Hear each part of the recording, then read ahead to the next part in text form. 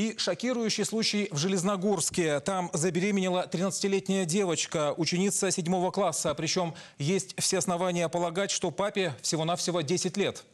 По имеющейся информации, в семье школьницы решили оставить ребенка, а в Следственном комитете уже начали проверку по этому поводу. Пока там подтверждают только то, что 13-летняя школьница готовится стать матерью, а вот отцовство еще предстоит подтвердить. Последствия у этой истории могут быть разными.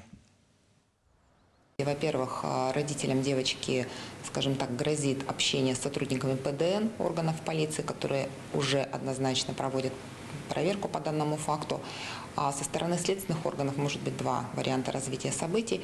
Первый – это если отец совершеннолетний, здесь возможно возбуждение в отношении него уголовного дела. А Если рассматривать второй вариант, это отец ребенка несовершеннолетний, здесь э, ему не угрожает уголовная ответственность.